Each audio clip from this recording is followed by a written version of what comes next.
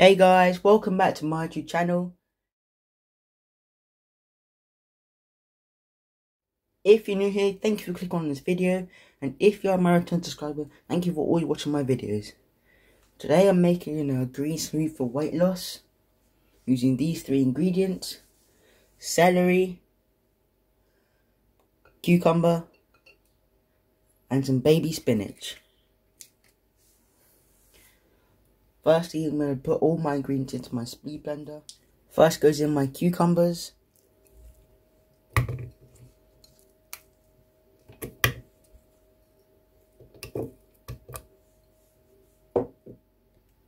Next goes in my spinach.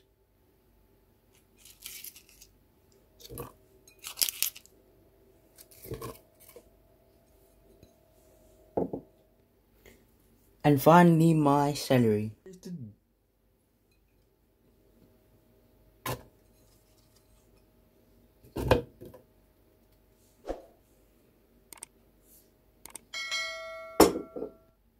We're now going to add some water.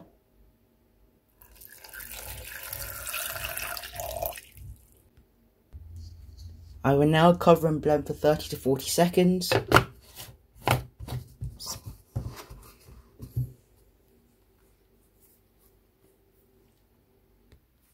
Okay guys, I've just finished blending up this nice smoothie for weight loss. Let's take a look inside of it.